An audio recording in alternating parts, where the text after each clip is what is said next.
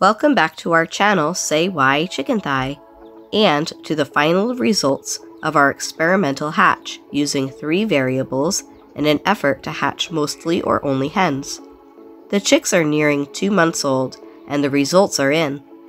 In this final update, we'll showcase all 16 chicks, which in our best estimate consist of 5 roos and 11 hens. That makes our hatch 68.75% female. If you've been following along with this experiment, then you know that we hatched mostly Easter egger and olive egger crosses, and as such, determining their gender without vent sexing can be a little bit of an adventure. We used a combination of ways to look for hints of gender from hatch to present day, including wing sexing, leg color, leg thickness, comb type and size, tail feather development, typical markings for each chick's mixed breeds, and their temperaments. So here they all are.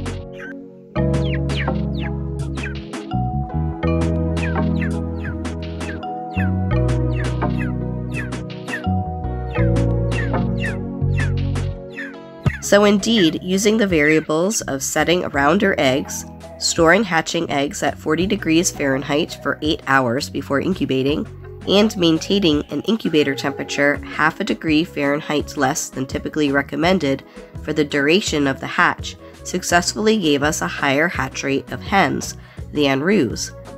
And though this is good news, I wouldn't do it again. When you're considering the results, you're obviously looking at the 16 young chickens that developed, hatched, and are growing healthy and well. But what you may not be considering are all the losses that happened along the way. Out of all of the dozens of hatches I've ever done in the past, this one was the most emotionally difficult, since there was the highest number of chicks that hatched with spraddle leg or other deformities, and some that were so severely compromised that they died during or shortly after their hatch. And so I'll hold on to the memories of the experience and celebrate the science that supports using temperature variation to promote a higher hen hatch rate. Thanks so much for watching this video. I hope you've enjoyed our experiment. We do all kinds of quirky stuff with our beloved chickens here on our channel, and so I hope you subscribe to Say Why Chicken Thigh to see what we come up with next. Bye bye.